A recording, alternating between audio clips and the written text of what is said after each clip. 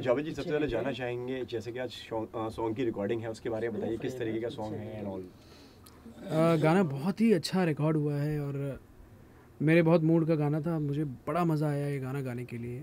इस फ़िल्म का नाम है विराम और इसका म्यूज़िक किया है सिद्धांत और इसको लिखा है इसके लिरिक्स लिखे हैं अज़ीम शिराजी साहब ने।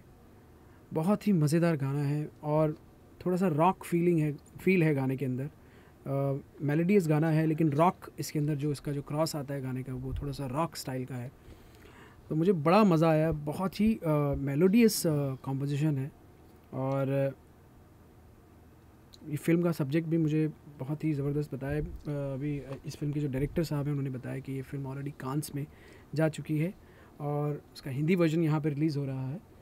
तो आई एम वेरी एक्साइटेड और बहुत ही uh, मुझे खुशी हो रही है इस फ़िल्म के साथ में जुड़ के। बहुत मज़ा आया मुझे मैंने बहुत इन्जॉय किया। सर आपसे जानना चाहेंगे जैसे कि आप फ़िल्म के डायरेक्टर हैं तो उसके बारे में बताइए किस तरीके की ये फ़िल्म है और गाने के बारे में? फ़िल्म एक अनयूजल टाइप की लव स्टोरी है। एक पचपन साल के बुज़ुर्ग और एक पच्चीस साल की लड़की के बीच की लव स्टोरी है। आ, फ़िल्म के ज़रिए हम कन्वे करना चाहते हैं मैसेज कि प्यार जो है एक ऐसा टूल्स है जो दुनिया में कुछ भी बदल सकता है। और ये गाना जो है ट्रांसफॉर्मेशन है जो हमारा लीड एक्टर हैं नरेंद्र जी जो प्ले कर रहे हैं। तो कश्मकश में है कि हम किधर जाएँ फैसला नहीं कर पा रहे तो इस गाने के ज़रिए वो ये कहने की कोशिश कर रहे हैं कि यह दिल कहीं और चल जिस मंजिल की तरफ़ हैं उस मंजिल से छोड़ किसी और मंजिल की तरफ़ चल। ये कहने की कोशिश कर रहे हैं इस गाने के ज़रिए। जावेद जी आपसे जानना चाहेंगे किस आ, क्या क्या डिटेलिंग करनी पड़ती है जब इस तरह की कोई कहानी आती है? जैसे कि सर ने बताया कि पचपन साल के आदमी की एक कहानी है और और भी कुछ अलग है तो क्या कहना चाहेंगे इसके बारे में? एक्चुअली वो जब है ना वो कहानी का जब थोड़ी स्टोरी पता चलती है और तो आपको वो कैरेक्टर में ढलना होता है। But I think in the meantime ये भी ध्यान रखना होता है कि एक आज से जुड़ा हुआ होना चाहिए। यू नो जब पचास साल का आदमी उसके ऊपर ये गाना है राइट हाँ पचास साल कहानी वैसी है ना? ओके सॉरी पचास साल के बुज़ुर्ग हैं और उनको एक ट्वेंटी फाइव ईयर्स की लड़की से प्यार हो जाता है।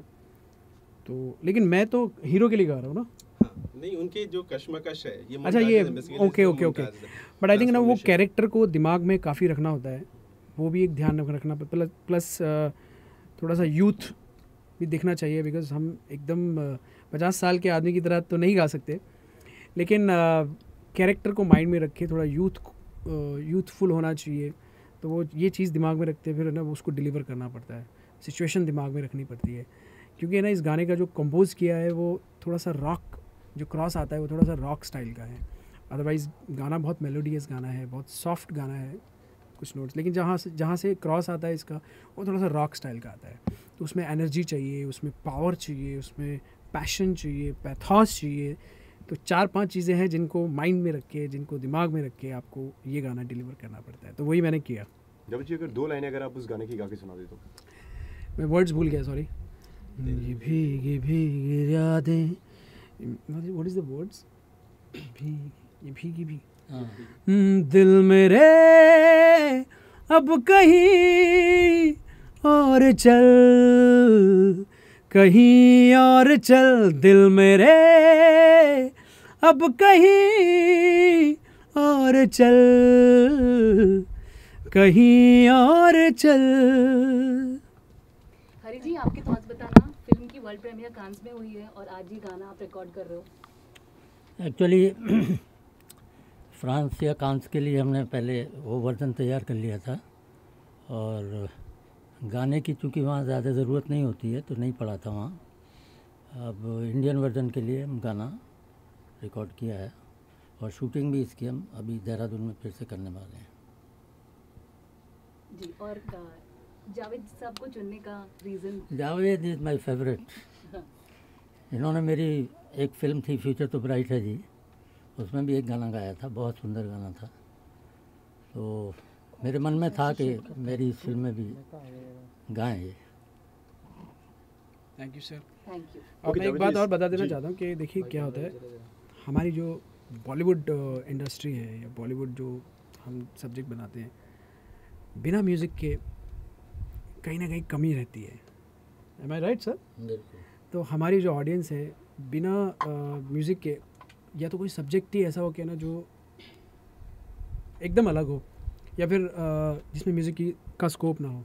लेकिन ना भी स्कोप हो तो म्यूज़िक तो चाहिए ही चाहिए फ़िल्मों में। तो उसके बगैर ना अधूरा है।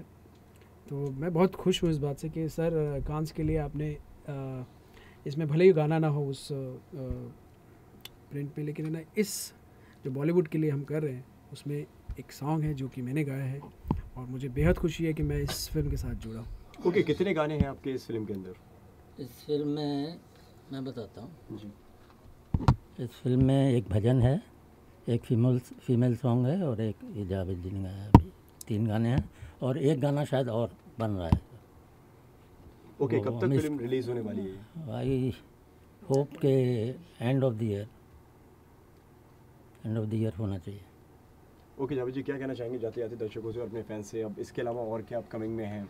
आ, इसके अलावा मैं अभी कहना चाहूँगा कि मेरा अभी एक सोलो रिलीज़ हुआ है सिंगल सॉन्ग आपने सुना होगा रंगरेजिया वो बहुत अप्रिशिएट हुआ है और आ, मैं खुशी खुश हूँ इस बात से कि ना उसको एक दस दिन में कुछ हंगामा पे कुछ वन मिलियन से ज़्यादा व्यूज़ मिले हैं प्ले हुआ है। आई ट्यून्स पे नंबर वन रहा है, वो गाना अभी भी नंबर वन है। और बहुत अप्रिशिएट हुआ है। ये पहला मेरा फ़र्स्ट सोलो था, जो भी, जो कि कंपोज भी मैंने किया था। ये आया है। फिर कल मैंने गाना रिकॉर्ड किया रिलीज़ किया है उम्मीद करके, जो आदित्य बिरला मेमोरियल हॉस्पिटल के लिए हम लोगों ने किया है। लेकिन ये बहुत बड़ा गाना फ़र्स्ट टाइम मैंने किया है। ये गाने को भी बड़ा अच्छा रिस्पांस मिल रहा है। प्लस जुलाई में मेरा एक और अभी आप सिंगल सुनेंगे। इसके अलावा फ़िल्म के काफ़ी गाने आने वाले हैं मेरे और मुझे खुशी है इस बात की कि मैं, जो मैंने पिछले सालों में नहीं किया, वो इस साल में मैं काफ़ी नई नई चीज़ें कर रहा हूँ। जैसे मैं कभी कंपोज़ नहीं किया था तो रंगरेजिया मैंने कंपोज़ किया। इसके अलावा उम्मीद जो गाना निकला है, वो भी मैंने कंपोज़ किया, गाया। और नेक्स्ट मंथ एक और सिंगल आ रहा है, वो भी मैं कंपोज़ करूँगा और गाऊँगा। तो और फ़िल्म के तो गाने में गा ही रहा हूँ। तो मुझे खुशी है इस बात की कि मैं काफ़ी नई नई चीज़ें कर रहा हूँ। और थैंक यू सो मच मेरी ऑडियंस के लिए, मेरे चाहने वालों के लिए, क्योंकि आप आप नहीं चाहेंगे, आप नहीं प्यार देते तो कोई भी आर्टिस्ट कहीं नहीं पहुँच सकता। Thank you so so much for your support for your love